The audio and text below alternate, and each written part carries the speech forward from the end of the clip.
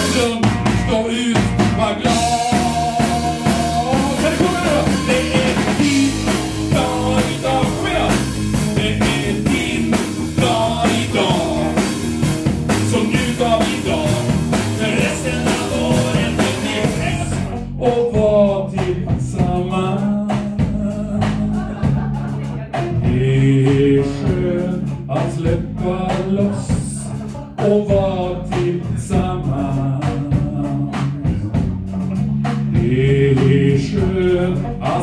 släppa loss och vara tillsammans.